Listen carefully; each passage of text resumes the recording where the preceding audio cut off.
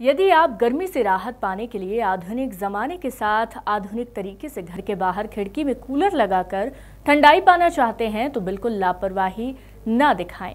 क्योंकि जो आप देखने वाले हैं, उसे देख आप अपना इरादा ही बदल सकते हैं। दरअसल ठंडाई की तलाश में इंसान के अलावा जहरीले जानवर भी कूलर की तरफ़ रुख कर सकते हैं। देपालपुर के धाकर सेरी इलाके में भी कुछ ऐसा ही हुआ, जिसके बाद पूरा परिवार दहशत में आ गया।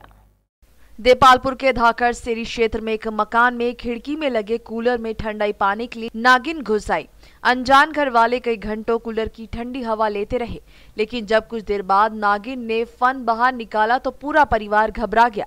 देखें किस तरह एक बड़ी सी नागिन को कूलर से बाहर निकाला गया।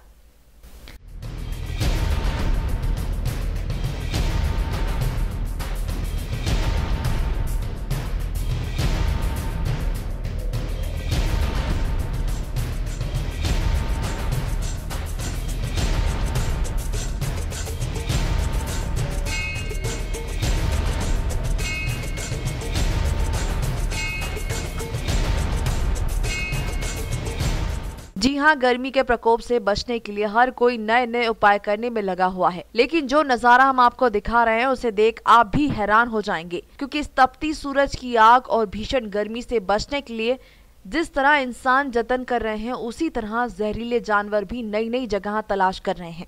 देपालपुर के धाकर सेरी में रहने वाले परिवार के होश उस वक्त उड़ गए जब बंद कूलर में उन्हें कुछ दिखाई दिया। कुछ ही देर में संदिग्ध दिखने वाली चीज़ क्या है, ये पूरे परिवार को समझ आ गया। फन फैलाए फुफकार मारते सांप नज़र आया। आसपास रहने वालों को भी तत्काल जानकारी मिल गई और सांप पकड़ने वाले लोगों को सूचना दी गई। जब सांप को पकड़ने के लिए कालबेलिया समाज के लोगों को बुलाया गया, समाज के युवकों ने बड़ी मशक्कत के बाद नागिन को पकड़ लिया। नागिन को जंगल में छोड़ा जाएगा। Beauty Report, Dabang News.